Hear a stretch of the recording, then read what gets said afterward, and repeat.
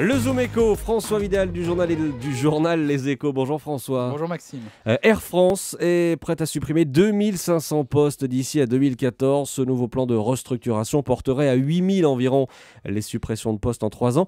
Euh, Qu'est-ce qui justifie une telle saignée? Le, le fait qu'Air France lutte pour sa survie, ce- cela peut paraître exagéré. Après tout, la, la compagnie a déjà traversé plusieurs crises profondes sans sombrer. Et puis, il y a ce sentiment qu'il ne peut rien arriver de très grave à, à l'ex-pavillon national.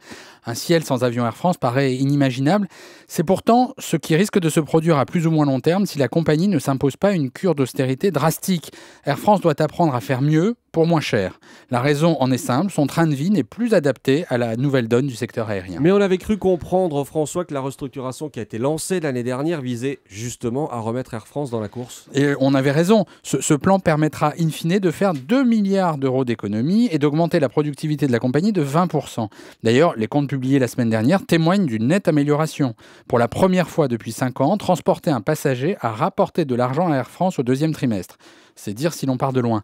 Le problème, c'est que ce plan ne suffit pas. S'il ramène les vols long courriers dans le vert, il n'est pas à la hauteur des difficultés rencontrées par le réseau européen. Or, ce pôle est le talon d'Achille d'Air France, celui qui cumule les pertes trimestre après trimestre. Et François, ça veut dire qu'Air France doit forcément euh, adopter un modèle low cost pour son réseau court et moyen courrier? Alors le terme est encore tabou, mais la question de la bascule d'une partie du réseau européen vers les low cost, vers le low cost, est désormais clairement sur la table. La compagnie n'a pas vraiment le choix, tous ses grands concurrents s'y sont mis, même Iberia et Lufthansa. Mais pour rendre cette solution acceptable, il faut d'abord tordre le cou à l'idée que l'exemple à suivre, c'est Ryanair et son modèle social ultra agressif. De ce point de vue, les dirigeants d'Air France ont donné des gages en optant pour un plan de départ volontaire afin de réduire les effectifs.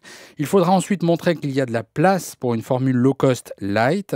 Les compagnies traditionnelles américaines y sont bien parvenues. Pourquoi pas Air France?